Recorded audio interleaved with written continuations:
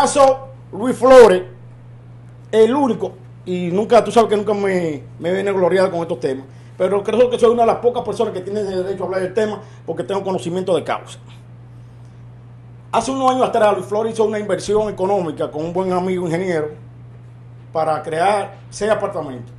Crearon apartamentos, eh, ya Luis Flores y su esposa, Georgina González, si la memoria no me traiciona, le firman un derecho, un poder, así es, un derecho, un poder, para que ellos pudieran hacer venta de cuatro de los seis apartamentos. Así se hizo, se le entregó el dinero, después, por asesoría de un político, hoy fuera del poder, un bandido, Luis Flores se deja mal asesorar, lleva a la justicia el caso, difamando, diciendo que eh, había sido falsificada su firma, el INATI demuestra que sí, que era Luis Flores, pero pese a eso, fueron conciliar para hacer un pago extra entre el ingeniero, Luis Flores y su esposa.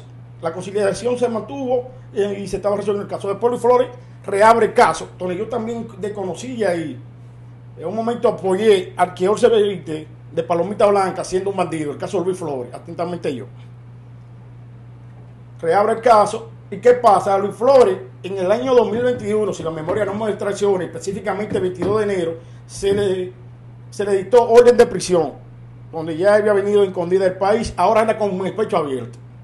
Luis Flores tiene orden de prisión porque por rebeldía, por rebeldía. Usted sabe lo que significa rebeldía. Usted que trabaja derecho, cuando usted lo agarra preso por rebeldía, mínimo tiene dos años de prisión.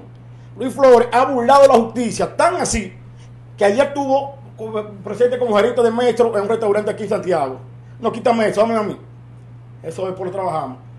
Después, estuvo en la arena de Ciudad con el pecho abierto. Y yo no quiero creer, yo no quiero creer, porque vivimos en un país donde la política se mezcla con la justicia. Y ahora que Micael Bermúdez está con el partido de gobierno, porque es más gobernista que, que mató Río, Micael Bermúdez haya negociado con en, su, en su parte político con el PRM la protección y garantía de libertad de Luis Flores, que hoy es gerente de metro. ¿Qué quiero decir? Y que lo le dice al Flores, tú vienes a a metro, que yo te garantizo que tú no vas a caer por eso, porque yo tengo poder en este país. Yo no quiero creer eso. Si es así, el poder es para usarlo. Ahora, ¿dónde está el nivel de justicia de este país? Este tipo hace rebeldía y vale a la arena como que nadie. Ah, si ese quiere, si es un Juan de los Palotes, sí está preso.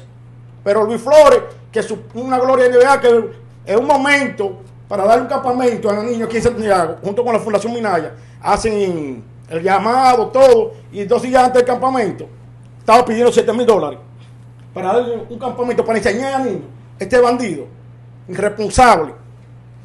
Yo espero que te agarren la justicia y que sea justicia de verdad en este país, que no tenga padrino político, porque, o si no, la justicia de este país no está donde debe de estar. Este tiene su orden de prisión y también tiene, porque nosotros somos claros, la, solicitud de levantamiento de la orden de prisión de rebeldía que la hizo antes de ayer su abogado.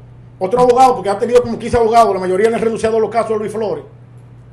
Maestro, ustedes iniciaron mal. Un gerente que está en la justicia con la liga del plagio, porque es una liga del plagio también, la LNB. Ah, sí, sí, una liga del plagio.